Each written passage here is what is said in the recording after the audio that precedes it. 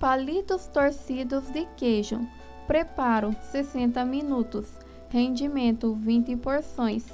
Ingredientes: 100 gramas de queijo mussarela ralado fresco, 50 gramas de queijo parmesão ralado fresco, uma xícara e meia de farinha de trigo, 5 colheres de sopa de manteiga sem sal, uma colher de sopa de alho em pó, sal, pimenta e orégano a gosto.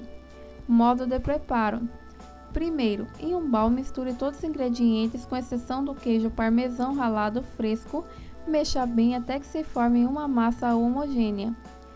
Segundo, transfira para uma bancada e sove até obter uma massa lisa. Então, abra a massa com auxílio de um rolo até obter uma massa lisa com aproximadamente 4 mm de espessura.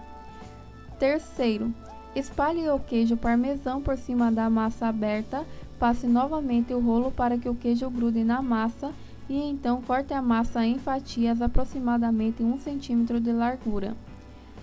Quarto, puxe individualmente cada tira de massa e com cuidado torça ela para que fique um formato de parafuso. Quinto, transfira cada uma para uma assadeira grande e deixe descansando na geladeira por pelo menos uma hora. Sexto, enquanto a massa descansa na geladeira, pré-aqueça o forno a 200 graus para então assar os biscoitinhos por aproximadamente 30 minutos ou até que comecem a ficar dourados. Retire do forno e deixe esfriar completamente.